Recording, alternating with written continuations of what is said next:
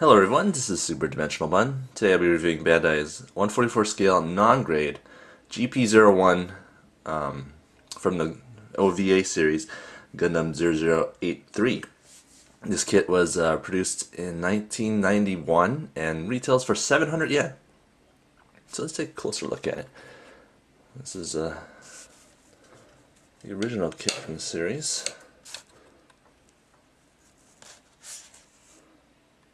Closer look at the details here. Designed by Macross designer Shoji Kawamori. This was his work on Gundam.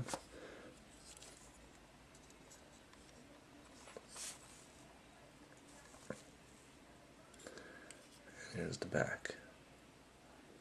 Let's go ahead and take a look at the articulation in this kit. So it's heads on a peg and polycap.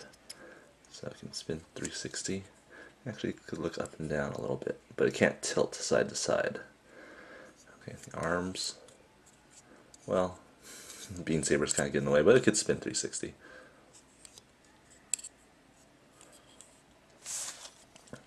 now there's no waist articulation. This is all one piece. Same thing with the side skirt armors. They don't they don't move out um, the arms only twist at the elbow. And the hands are also pegs on uh, in polycaps, so they can only spin around. They don't they don't tilt left, right, or anything like that. Um, so arms can bend outward only 90 degrees. Legs. Now these are also pegs on polycap, so they don't twist at all either. It can only bend that far forward. And that far back. Know, it's 1991, so obviously the articulation is not going to be that great. Oh, and last but not least, um, bending at the legs, 90 degrees. Slightly forward, but you know, really not much and then the feet. So these are also pigs on horizontal uh, horizontal pegs on, on polycaps. So look how much uh, front back motion. It's a decent amount there. But going side to side, there really isn't much motion there. This is a pretty old kit. It tried staying true to the line art but I don't know. Bandai's interpretation of the line art at the time was wasn't very good. The skirt armor in the front doesn't move at all, so it's, it's, it's one giant piece. The backpack just fell off. As you can see, it's just two circular pegs. Now this kit was only produced in two colors, blue and white. So everything, every other color here been has been painted on and completely paint this. Um, we'll get to that in a little minute. In a minute. So let's see what else. Well, let's look at the accessories. Okay, first we got the shield. So this is fairly well, alright designed. I mean, nothing too special. It's just two pieces. The shield itself, you gotta paint the blue on it. And actually, this thing was all blue. You need to paint the white on it, to tell you the truth. And, and there's a handle just connect this whole piece there and just slip it into the hand. Um, there's the beam sabers as well. You see, it's not quite, it's not like a cylinder, it's, it's just a little, you just slip, pop it in like, like so, stay in, but it doesn't stay in very well, obviously. Um, I mean, there are ways to fix that, but like putting in some add, a layer of painted there or super glue or whatever. No. The handle of the shield just, just slides right into the hand. But, as you can see, just the, I don't know, chunk of the forearm, but the you know, bumps up against the, against the mechanical part of the inside of the shield, and it can't hold it straight. So it's not very well designed. Um, try doing it sideways. It probably works better that way. Actually, no, it doesn't. So, kind of fail there.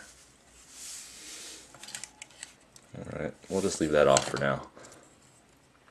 Okay, next you got, you also have a beam saber.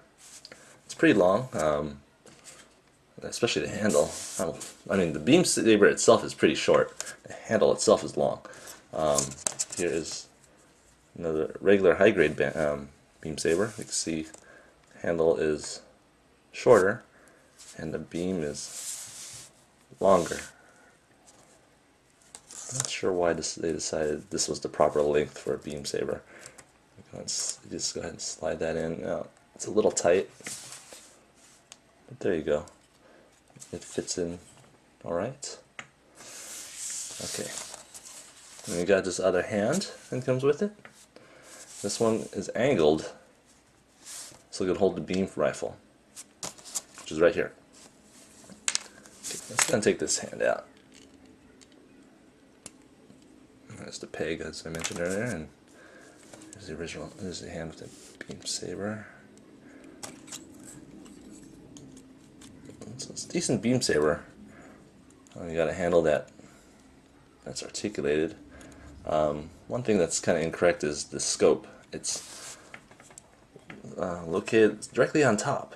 It's supposed to be slightly to the side. And also this little bump here, I added it myself. Um, for just a concave disc, which, you know, isn't right. So, so the hand had to be angled because the bulkiness, the sheer bulkiness of the forearm wouldn't allow um, beam rifle to be held with the normal hand. So, Bandai came out with this angled hand just to uh, accommodate that. Not a very elegant um, solution. I mean, well, yeah, doesn't look that nice. anyway, um, so it can't really hold a, a, beam saber very nicely, and it can't hold the uh, the beam rifle very nicely either. So there are a lot of cons going against this thing. Um, let's do start with pros and cons. Well, you know, cons first, because um, there are many. So this kit was produced back in 1991, so you can't expect the high grade standards that they have today on this particular kit. Um, details, I only detailed half the kit, so I mean I painted the whole thing, but except well, most of it at least. Um, the details on the chest, all the green parts, the red, the grays, those are all painted, except for the blue and, and most of the white. So you got these also, these beam sabers, they, they keep popping out, not, not a very stable part. Backpack's decent, except for the beam saber holders. Um, I mean, this kit, it feels like they they rushed this kit or something. I mean, I don't know if they were trying to really stick with the uh, line art or, or something, but it's just clunky. It looks like a cheap toy. I mean, you got these forearms that really can't hold beam sabers or, or, or shields very well. Um, shoulders look a little high. I don't know. Something about it just doesn't look right. Um, and then you got the legs. I mean, I guess it's just around the feet that are really bad too, because it, it, can't swivel. I mean, it, it, Let's see. I mean, you have to pretty much put it the feet, the legs together to make it, you know, flat on its feet. Any tilting outwards, and you know, it's not. It's, it's not. Um, it's just the feet are lifted, off, uh, angled, and all that stuff. Um, the leg articulation's bad. Nothing really twists. I mean, I guess it twists at the knee, but not very much at all. I mean, no, it doesn't. So never mind. Well, I I mean, yeah, seven hundred yen. I mean, that I guess that's the pro to it. I mean, it's it's cheap. Um, but you know, back to the cons. I mean, you're gonna need a lot of work for this thing. Um, it's it, I mean, it's only two colors. You got to paint a lot just to detail it. I mean, if you, you, don't mind paying, then sure, go for it. But I wouldn't buy this kit just for this. Um, for GP01. I mean, it's it's a lot of work. And in the end, I mean, it doesn't. It's not satisfying, you know. 700 yen. I think you're better off spending maybe 500 more yen to get the high grade version, which is right here. You can see better proportioned, more detailed. I mean, it doesn't even have the zero one on on the shoulder. That comes as a sticker. Um, now, let's see. Let's try to go for the pros again. Um, it's a Shoji Kawamori kit. So you know, if you love his designs, you know, there's that but I still have to say this is not a very good representation of it. Um, yeah, let's see. But the reason why I bought this kit is mainly because I was going for the full burner parts. And I'll go into that in another video. Okay, so let's see, quick comparison here. The high grade's obviously superior in almost every way. Um, yeah. I mean, let's see, what was it say? Um, yeah, I mean, if, if you ha had a chance, go for the high grade version. I would not go for the non grade version in almost any circumstances. I mean, I didn't buy it for it. Um, so, you know, that, that, that's my reason. The only reason that I have this is because these are spare parts that come with the, the full burner version. So just want to show you guys what it looks like. Um, do a quick comparison and um, yeah. So there you have it. Um, don't buy this kit. I wouldn't. It feels like a waste of 700 yen. Oh, let me go back to another thing. It feels like a, a evolutionary backstep compared to the, any Gundam, well, Gundam 0080 kits. This is a GP, this is a GM um, command space version. I mean, this one has some waist articulation. I mean, the proportions are better. I mean, I mean the leg articulation that's great, but as you can see, it's it just has better proportions. It can hold a beam rifle if I had it ready for you, but uh, it's, it's it's not there. But anyway, um, yeah, I mean, you got skirt armor that moves. You got elbows. Yeah, they bend 90 degrees as well and twist and whatnot, but you know, it doesn't have any.